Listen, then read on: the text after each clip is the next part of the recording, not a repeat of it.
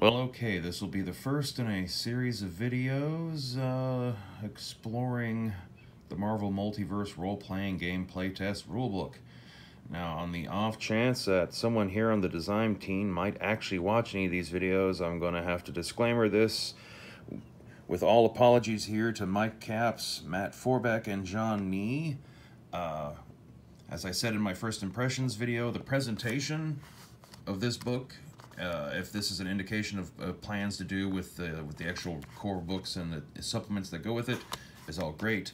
Uh, uh you can't really think of a better way to like you know get across the comic book feel than to put it out in the same format as you do your trade paperbacks. That's nice. Uh, there's not a whole lot to say about the setting presentation because there's really little to nothing about that in here. This kind of assumes that if you're looking at it, you're already familiar uh, with, with the Marvel Universe in many ways.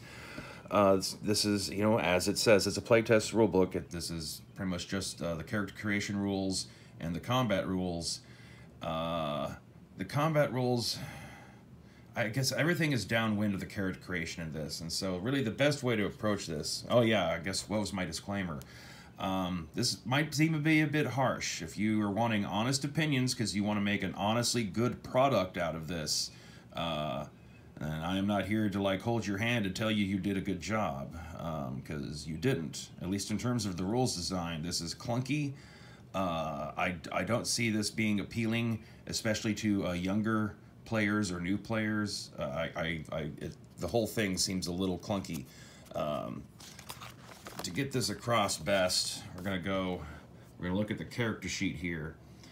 Um, the character sheet is the core interface that the player has with the game environment. And so, uh, you know, the character sheet in a weird way is actually one of the most important things because, you know, uh, if you have a bunch of rules and other stuff that don't tree off of things that are available on the character sheet, then the players have no way to know that they're capable of interacting with them and stuff like that.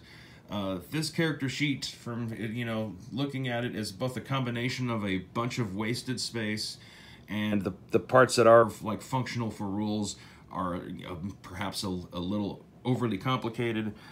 I get it's cute and all that you want your ability scores to have initials that spell Marvel, uh, but uh, might, agility, resilience, vigilance, ego, and logic.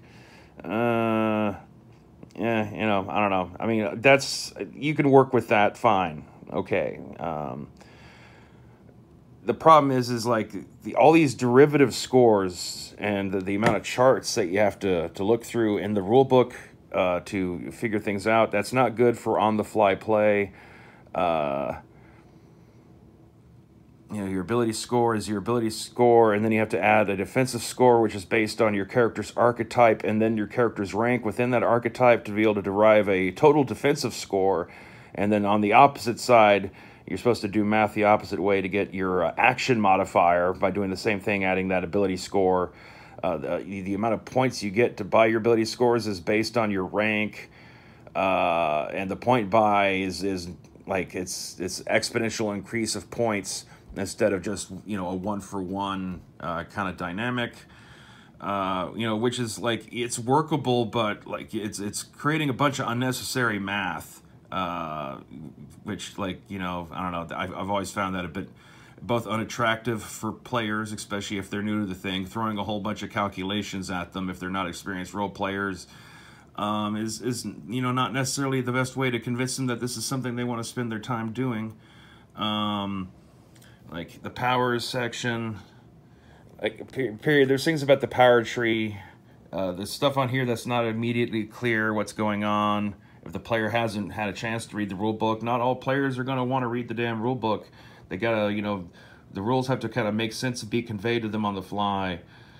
Uh, so like power, set, cost, you know, what does that mean? Uh, what, what, you know, having all these little ESMR next to everything. Like that's not immediately clear what the hell you're talking about here. And uh, also like power, range, damage, uh, special effects, duration, maybe like numbers of rounds needed to cast it for some things. You know, like uh, Storm can't uh, summon all kinds of weather instantaneously if she you know, she can might be able to like make lightning, you know, strike as a, like a single combat round action, but she wants to summon a hurricane. She's got to at least spend a few rounds concentrating and to get all that wind and storm to manifest, you know, kind of a thing. Uh, you know, so like, I don't know, I don't know if we need these little symbols to convey that though in the game. Like large chunks of wasted space, like you're you're not going to have that many traits. Uh, equipment's just a bunch of lines, but there's like nothing like there's nothing no line on cost, nothing on weight. Uh, if your character has archetype is using like they're using power armor or, or that's their power set or whatever the hell it is. Uh, you know, there's like nothing on here about keeping like your stats for your battle suit. A big long section on personality. Not enough history though by comparison let's see, over here by traits we got code name, your archetype, and your rank, your total health points. Apparently you got to keep track of your karma. Uh, focus, fight damage, ranged damage. Okay. Is it, oh yeah, because that's the damage you do. I guess it's reference right there. You have all these different kind of speed uh, uh, numbers you're, you're going to have to calculate. Uh, you have to keep track of an initiative modifier. That, I guess, is all right. Up here, your basic thing, your occupation, what teams your character is involved in, their real name, height, weight, gender, eyes, skin, hair, distinguishing features. Do they have a base, their origin, profession, their size? Uh, I don't know. It's, uh, like I said, it's, it's not the best character sheet in the world. It's not really, like I said, you know, it's not immediately clear on first analysis what some of these things are supposed to stand in for. Following it in this book, we got two pages as just a quick rules reference. So we can go over this together, guys. So they give you their basic rules for an action check, uh, which is roll a D616, which, uh, like, like having your ability scores spell out Marvel, it, it's pretty gimmicky there. Uh, what they're saying is you're supposed to have three die six, and one of them is a different color. So you'll have two die of one color and then you you have a third color. This is your Marvel die. Now here's the problem with this. So you roll your uh, three six-sided dice and then add them up and then uh, you get to add whatever kind of ability uh, modifier or defense modifier, I guess, to that roll. And then beat a target number. The target number is determined by the challenge's rank. So you know, it'll be a, you know, rank six gives you a 20. It's not immediately clear. I guess it all starts at 15 and just goes up by one. Yeah. Okay. No, they start to stagger at 23. So yeah, it's not even immediately clear. You're gonna, until you have it memorized, you're gonna have to constantly flip to these tables while you're running things as a dungeon master. But anyway, so like the challenge is like say a five, and so that gives you a target by rank, gives you a, uh, a 19 as the difficulty number they need to beat with their 3 die 6 plus whatever they get for their ability modifiers.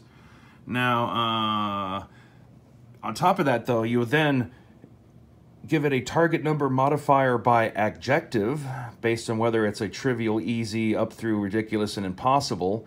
So you'll you'll add or subtract that to this to give the target number you want for this roll. Now here's where I think this is like bad design right here off the bat. In your basic most rolls, uh, the die is not the number it says it is in the roll. Uh, if you make a roll and it comes up like say like that, and lo and behold, I actually did roll a one. That's funny. Um, that one actually counts as a six because that's a good thing if you roll a one on your Marvel die and these are not both ones. But and so then you, get, you use that as a six and add that to the five and the two, and then you add your ability score modifier to beat this target number that's based off the challenge rank and its adjective. Um,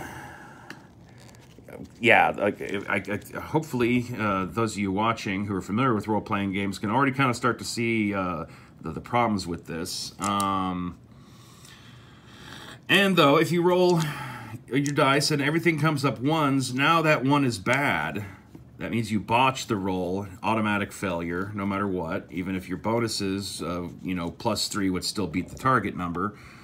Uh, and that's just a kind of a dumb dynamic where your dice, one of your dice is not always going to be the number it says it is.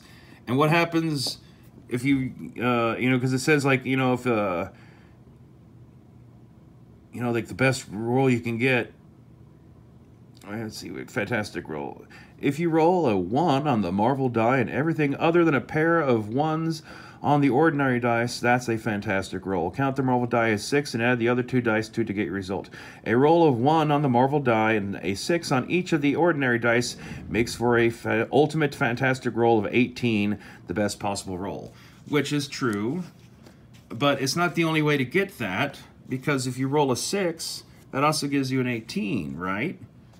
Uh, a botched roll is if you just roll all ones. So uh, the that's not that that's the same as rolling that. That's not the only way to get a score of 18. You can get a score of 18 two different ways. Um, so that that's inaccurate in their own text. Uh, their sequence of combat's a little unclear. Uh, determine the character's positions. Okay, roll initiative. Fine. S start a new round or I guess your first round. Uh, each character takes their turn in initiative order. Uh, no description on exactly what you're able to do on that turn. Do you just get one action? Do you get a move and an action? Do you get a certain amount of actions based on your rank? Do certain powers give you more actions? Uh, perhaps that's why it's unclear, but they, you know, they should spell it out a little bit here since this is supposed to be your ultimate rules reference for players and uh, first-time uh, DMs trying to run this thing. And if the combats are still able and want to fight, go back to step three after that. Uh, and otherwise, the combat ends. Okay. Uh, some notes on firearms about how they need to be reloaded. What about laser weaponry? Uh, look, there's aliens and high-tech people in the Marvel Universe who have uh, energy weapons. So those, uh, I guess this is only for, you know, projectile firearms.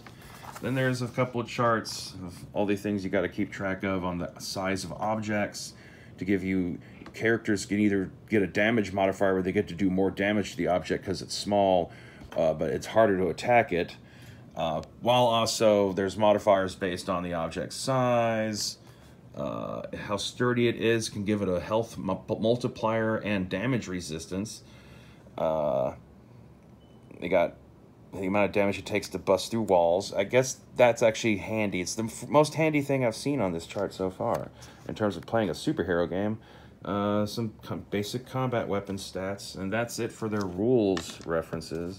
A couple of the things I wanted to point out in this rule book uh, that I consider to be problematic in terms of rules design. Uh, we got these power tree charts as to how to like sequence powers. Uh, this is like clunky, very clunky. Uh, once again, requires a lot of like having to go back to the book in the middle of play. The less you can do that in the middle of play, the better, you know, in most cases. Uh, I just, I don't like the layout of them, and uh, it's, it's also not immediately clear, like not everything gets multiple paths. Some things branch in different directions. Other things give, give you just a straight chain of stuff. I don't know why some of that can't just be as you increase in rank, you get better versions of just linear selections of powers, perhaps. There's there's multiple games that have tackled this subject uh, successfully. So, you know, this can be done. Uh, this does not immediately strike me as the best of ways until I try to sit down and make a character later. Uh, but yeah, this gives you your amount of power sets and then your total amount of powers. Uh, which also to kind of just increases at these weird jumping exponential rates, which uh, doesn't automatically translate. So it forces you to have to go back to the rule book and look up a chart and cross-reference where your number is to actually see things. It's not something that's uh, intuitive and you can just kind of do in the fly in your head because it all kind of runs on the same dynamics. Uh, but here we go.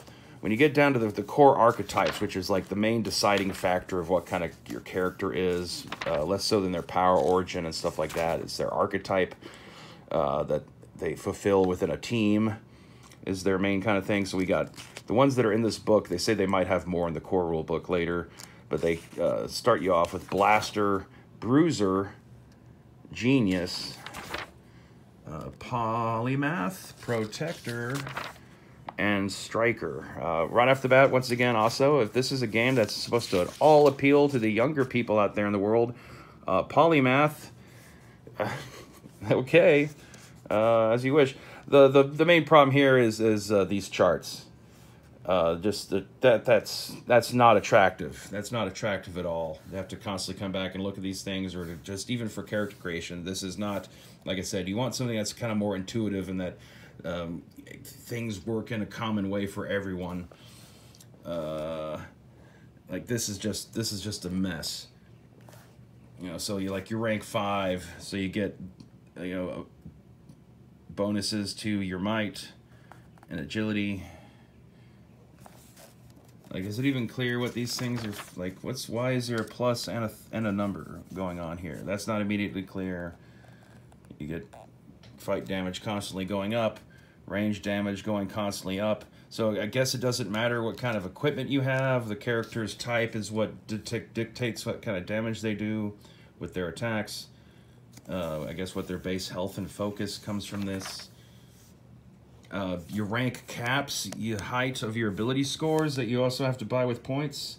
Uh, but you get to raise your ability caps depending on which archetype you use. That's clunky. Uh, like, you know, for pre-designed characters, this is probably better. Uh, if you just want to play Spider-Man or, or, you know, a, a, generic established Marvel character and not make your own characters. But uh, just the character creation of this is just unattractive. Uh, too much chart reference, and there's going to be having to be continuous going back to those charts and play in a lot of cases. Uh, and because, like I said, you want intuitive rules that once you understand what the basic dynamic is, you can easily improvise without having to like stop. Okay, everyone, pause what you're doing. Just keep what you're about to do in your heads while I take five minutes to thumb through this big giant rule book and look around for the right page. And okay, there's strikers. Okay, and he's a what was this NP? He he's ranked seven. Okay, and so this is this is his agility modifier. Okay, I'm gonna roll the dice. Oh, but is that two actually a two? Uh, like uh, the, the whole this whole thing's like this is not great design, and I'm sorry to say that. Uh, the, whole idea of buying a, your playtest rulebook and playing along with the idea of like you know giving y'all uh, feedback is that you know I'd like to make a better product, and you know there's there's potential here. Uh, like I said, the presentation's great. Uh, you know, it's established IP. People can get their heads around. It's a potential uh, product that'd be great as an introductory game uh, for for new players who are younger and uh, maybe don't want to play Dungeons and Dragons, are more into Marvel and that kind of stuff. Um, you know, uh, it just but these rules, man. if, if it doesn't even matter if the, the combat rules are better than the character creation rules. Everything hinges off the character creation rules. And uh, they're up, they're, you know, kind of, uh, is, is obtuse the right word? I'm not sure. And the character sheet is just unattractive. Uh, spreading out the powers and it's like two like powers continued over here like just keep them all lumped together or perhaps you got too many potential powers there's a way to like streamline the power sets maybe and just focus on power set and rank as opposed to individual powers that tree off the power set possibly. Uh, uh, this is a little too much noise. You got way too many fucking speed values going on here that you have to calculate. Uh, a lot of wasted space. Not really enough information on equipment. It's just blank lines. You know, like how much damage can your equipment take? Since you have all these charts to figure out, you know, object damage and damage resistance, and like, shouldn't your character's equipment have damage resistance and their own health stats and stuff? Uh, this, uh, I mean, it's not that much worse than things, you know, like D&D 3rd edition had you do. Uh, it's a little gimmicky, but I mean, I can understand why you want to use your own branding and stuff to synergize the feel. Because as I said, that's part of the presentation, so I can be a bit more forgiving about that, even if vigilance, ego, and logic, eh, as character-defining traits, like, are those the best ones to triangulate a character's personality and abilities off of? I don't know. Um, I don't know. But like I said, this is the character sheet is the character is the player's interface with the entire game. Everything about the game has to be conveyed through this character sheet. Uh, and I don't feel like that's gonna be the case. Like, uh, I don't know. We'll see. Uh, leave comments below about uh, particular subjects in the rule books that you want to have me uh, delve into, if possible, and I will try to address them as they come up. Stay waspinated.